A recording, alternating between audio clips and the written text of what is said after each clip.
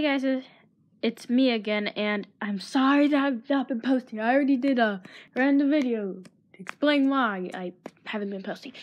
Anyways, so a few days ago, my dog ate my uh, puppet. I don't know what shape it was. A shape puppet. I forgot which one. It. I think I like. I, I can't remember it. So uh, yeah. But my mother got me a new one today. It's a heart puppet. I love it so much. Yeah, I, I, I just love it. It's my new favorite thing in the world. Yeah. And surprisingly, and also, I have not been playing Roblox in a while.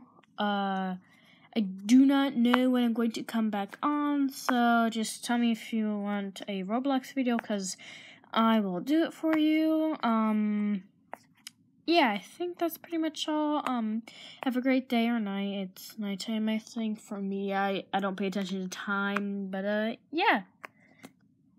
Bye, guys. Love you so much.